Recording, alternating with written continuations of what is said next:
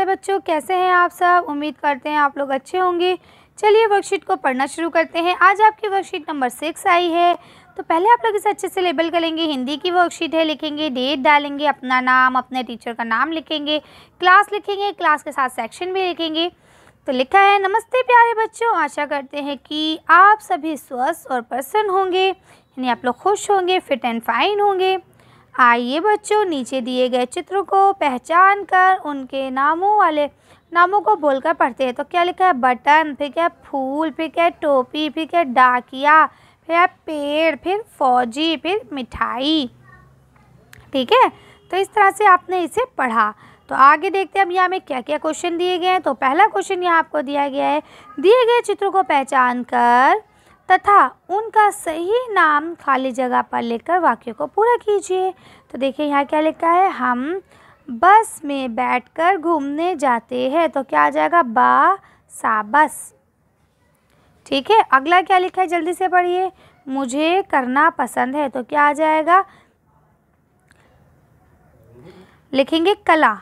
कला माने होता है ड्राइंग ठीक है फिर उसके बाद अगला क्या लिखा है आपका पढ़िए? तो देखिए, यह अगला आपका लिखा है, दिन में की रोशनी होती है? तो किसकी होती है? सूरज। सा सामने बड़े हो की मात्रा, राजा सूरज। तो आप लिखेंगे, दिन में सूरज की रोशनी होती है। अब आपका नेक्स्ट क्या लिखा है? हमने सर्कस में को देखा तो क्या आ जाएगा? जो कर जा जा में ओ की मात्रा जो कारा कर जो कर ठीक है तो हमने किसे देखा? जोकर को देखा। इसके बाद अगला क्या लिखा है यहाँ पे? हम सब घर में एक साथ खाते हैं। तो क्या आ जाएगा? खाना। खा, में आकर अंडा ना में आकर अंडा खाना।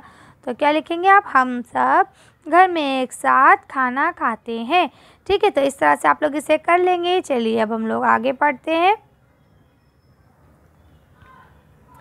तो देखिए, अब यहाँ आपका अगला क्वेश्चन दिया गया, दिए गए शब्दों को बोलकर पढ़िए तथा खाली जगह पर उनका चित्र बनाइए। साथ ही अपने पसंदीदा रंग सभी, रंग भी भरिए। तो अब आपको क्या है, पहला है करेला। तो देखिए, करेला का चित्र यहाँ लगा हुआ है। अब अगला क्या है, किताब। तो अब यहाँ पे आप ऐसे करके किताब का चित्र बना देंगे। ठीक है, ऐसे करके किताब का चित्र बना देंगे रंग भर लेंगे। फिर लिखा है मटर। तो आप इस तरह से मटर का चित्र बना देंगे इसमें मटर लगा देंगे। फिर क्या लिखा है? मछली। तो ऐसा करके आप मछली का चित्र बना लेंगे। ठीक है?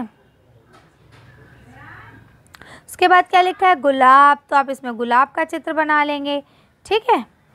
तो आप इस पर गुलाब ऐसे करके बना लेंगे अच्छा सा जैसा आपको अच्छा लगे। फिर उसके बाद लिखा है चूहा। तो आप चूहे का चित्र बना लेंगे। चूहा तो आप लोग को वो खेल वाला बनाना आता ही होगा, जो हम लोग खेल में बनाते थे। याद नहीं, मुझे नहीं आता, लेकिन हाँ आप लोग तो बना सकते हैं आसानी से।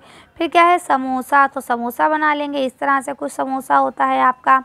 ठीक है, उसके बाद नौ तो नौ तो सिंपल नौ होता है। फिर है ऐनक तो आप ऐनक भी बना सकते हैं आसानी से। उसके बाद क्या है, माला तो आप माला भी बना सकते हैं आसानी से यूँ करके। ठीक है, फिर क्या है, चिड़िया तो आप चिड़िया भी बना सकते हैं आसानी से।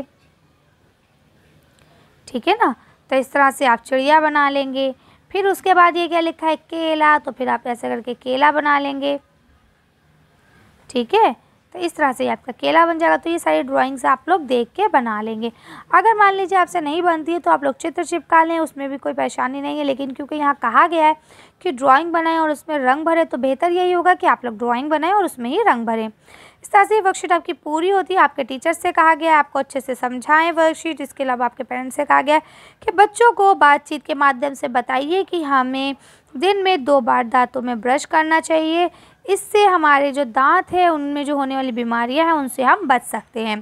ठीक है, चलिए तो आज की वर्कशीट को हम यही खत्म करते हैं। आज की वीडियो में बस इतना ही। अगर आपको हमारी वीडियो पसंद आई हो तो प्लीज़ इसे लाइक और शेयर करें। अगर अभी तक आपने हमारे चैनल को सब्सक्राइब नहीं किया तो प्लीज़ मेरे चैनल को सब्सक्राइब करें। Thank you for watching